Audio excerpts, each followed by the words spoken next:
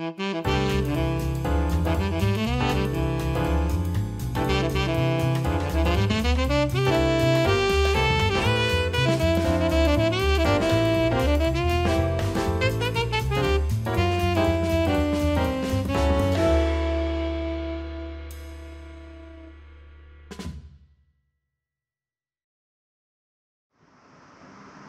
い、皆さんこんにちは。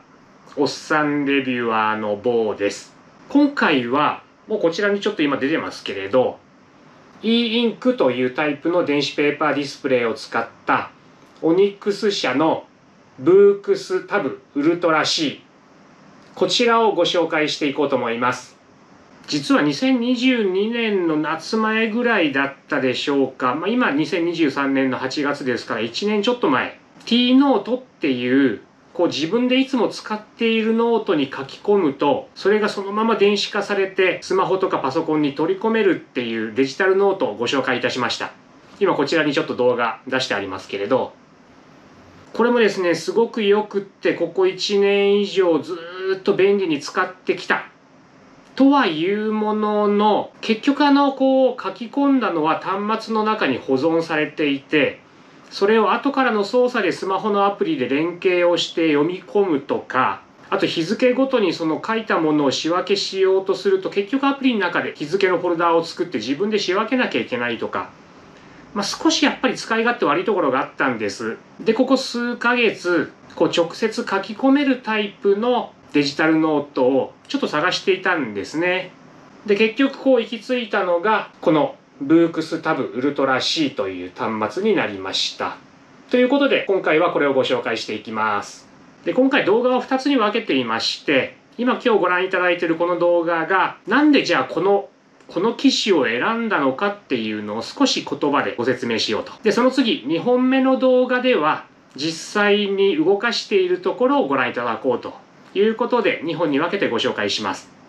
実はここ数年この電子ペーパー特に e インクっていうのを使った電子ペーパーの書き込めるタブレットっていうのが例えばつい最近ですと2023年の春ぐらいでしたか Amazon Kindle のスクライブっていうタイプが出てきました。これと全く同じサイズです。それから国内のメーカーでもクワデルノっていうのを多分2年ぐらい前ですかねに出していたりとか他のメーカーもここに来てパタパタと数機種出しているんですけれどそんな数ある中からなぜじゃあ今回僕がこの機種を選んだのかということでポイントはですね大きく4つあります。1つ目はまずブークスであるということ。まあちょっとこれブークスであることって言っちゃったら全部そうなんですけどブークスであるということと。それから2つ目。2つ目は Android 端末であるということ。そして3つ目は BSR っていう技術を使っていて、まあ、ブークススーパーリフレッシュっていう技術が使われているということ。そして4つ目。4つ目はですねちょっとこれも自分の中ではこだわるところでデザインとかあとこれちょっとご覧になって分かりますかね少し色は薄いんですけれどじこれ e インクなのにカラーなんです。ということで、ま、デザイン性とかもしくはカラーであるということということでこの4つがポイントになりますのでこの後1つずつご説明していきます。では1つ目ブークスであるということ。これあのいろんなメーカーからこの書き込めるタイプのものが出ている中でブークスってですねこのシリーズ結構あってあの e インクっていうとよくあるのは Kindle とかのあの電子書籍リーダーっていう電子書籍を読むための端末ですよね。自発行していなくて反射光で読むからすごく目に優しいと言われている。しかも読みやすいと言われている。この技術なんですがその中で書き込めるタイプペンで書き込めるタイプっていうのがそんなに多くは実はないんです。ですけれどこのブークスはその電子書籍リーダーのシリーズもありますしこの書き込めるタイプのシリーズもありますしそのシリーズもいくつかあってそんな中でさらに2世代目3世代目ってもう代を重ねてきていますから僕は今回この書き込めるタイプを買った理由は何せ会社でどんどんメモを取りたいからなんですけどとなるとこのメモ機能がどれだけ充実してるかっていうのが超ポイントになるわけです。そうするとやっぱりブークスいくつかのシリーズでしかももう代も重ねてきているということできっとメモ機能も一日の長があるであろうと。いや実は他のやつ使ったことないんでよくわかんないんですがまあでもきっとブークスはその辺かゆいところに手が届くようなメモ機能になっているだろうなということで今回ブークスシリーズをチョイスしました。で実際そのメモ機能超使いやすかったのでそれはあの次の動画で実際ご紹介しようと思います。僕もあのこの端末を選ぶにあたっていろんな動画を見たりとか解説見たりしたんですが実はそのメモ機能がどういう風になってるのかってあんまり紹介してる動画とかなかったんですよね。ですから今回はもうなんかいろんな機能ありますけれどそいつらすっ飛ばして次の動画ではとにかくメモ機能がどうなっているのかを中心にご紹介していこうというふうに思っています。そして2つ目。2つ目は Android 端末であることということです。ちょっと見てみましょうか。Android 端末であるということは何せ Play Store が使えるっていうことなんですよ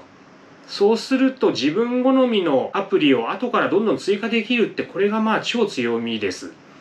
他のメーカーはもしかしたら Android ベースかもしれませんが完全におそらくカスタム OS になっている。もしくは独自 OS になっていてあのプレイストアって使えないんですよね。ですから後から自分でメモアプリを入れるとか、まあ、それ以外のアプリ入れるってことができないんですけどこいつなんせあのプレイストアついてます。ここにいますね。ですので、プレイストアを使って、まあ、自分で好きなアプリをインストールすることができるということが今回この機種を選んだ決め手になっている。まあそういうことになります。で、3つ目が、 BOOX Super Refresh BSR という機能を備えているということです。これあの、さっきも言ったように私他の電子ペーパータブレット使ってないんで、分かってないんですけど、どうもこの電子ペーパーの、もしくはこの e インクっていう技術が特にそうなのかもしれませんが、なんか画面のリフレッシュが遅いんですって。なので、例えばブラウジングしていて画面を遷移した時に、前のページの残像というか、まあゴーストが残ってしまうということで、たまになんかリフレッシュをかけないと、どんどんどんどんそのゴースト残るらしいんですが、このブークスシリーズの特にこの上位の機種っていうのはですね BSR っていう独自の GPU までわざわざ積んでその画面のリフレッシュを結構頻繁にしかも高速でやってくれるということらしいです、まあ、こういうのってですね多少残像が残っても買ったばっかの時ってこう気持ちがこうワクワクしてますからまあ多少いいかなとか思うんでしょうけれどなんかそういう小さいところってってこう使い込んできて数年経つとだんだんイライラしてくるんですよ。なので、ま多少お値段は張るものの、この BSR がついているこの機種を選んだ。それは、こう、将来にわたって変なストレスを抱えないためということで、3つ目のポイントは BSR、ブークススーパーリフレッシュという、そういう機能というか、なんていうのかな、性能を持っている。このことがまたポイントになっているということです。で、4つ目のポイント。4つ目はやっぱりデザイン性ですね。例えばその、こっち側のベゼルはですね、手に持つ時に、こう、持ちやすいようにわざと太くしてあるみたいなんですが、それ以外の3辺のベゼルが全て細くてしかも太さを合わせてある。こういうのもやっぱり持っている時、もう画面ずっと見てるわけですから使う時は。その時の何て言うのかなこう満足感につながるということかなと思います。結構重要。あの他の端末のデザインも見たんですけれど多くのものは上下のベゼルが太くてですねせっかくディスプレイがあるのになんかこう大きさの割にディスプレイがわざわざ小さくされてるみたいであんまり私好きじゃないんですが、まあ、この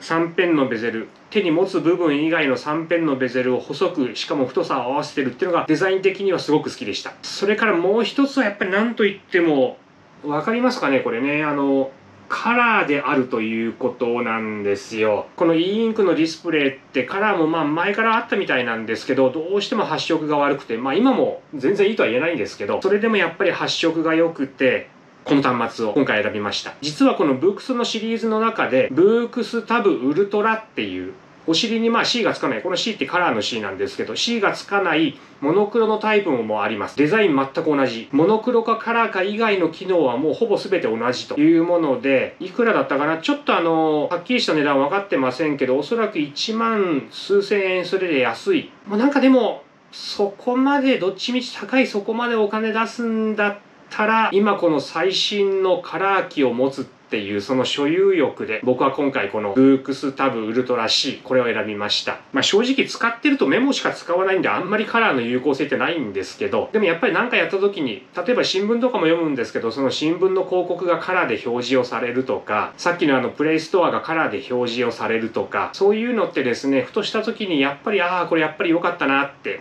思えるポイントなので今回思い切ってこのカラー版を買ったということですということで、今回の動画では、なぜ僕がこの機種を選んだのかということをポイント4つご紹介しました。1つ目は、ブークスであるということ。まあこれ特に主にメモ機能がきっと充実しているだろうということ。それから Android 端末であってて特に重要だったのはプレイストアが使えるということ。実はこのプレイストアはですねブークスシリーズの前の多分2年ぐらい前までの機種は同じように Android 端末でもちょっと操作しないとうまく使えなかったらしいんですが今これ最初からもうさっきご覧いただいたようにアイコンが出ています。超使いやすい。それから3つ目が BSR ブークススーパーリフレッシュ搭載であるということ。これもあのブークスのシリーズの中でもちょっと上の機種にしか載っていないということでこれ結構ポイントでした。そして4つ目がこのシンプルで尖ったデザインそしてカラーディスプレイであるということ。この4つが今回僕がこの端末を選んだ理由ということでした。購入をご検討の皆さんいかがでしょうか？参考になれば幸いです。では次の動画では実際にメモ機能がどうなっているのかご覧いただこうと思いますので、ぜひ次の動画もご覧ください。はい、今回も最後までご覧いただきありがとうございました。ぜひこの動画良かったなと思ったら、いいねボタンをよろしくお願いします。ご視聴ありがとうございました。